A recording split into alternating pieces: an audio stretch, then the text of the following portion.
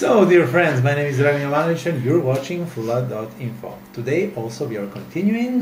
You just heard our Dragusha Antic uh, uh, on uh, which was the, the, the melody? This is Uh, it was uh, Soborskoro from South and Old Serbia.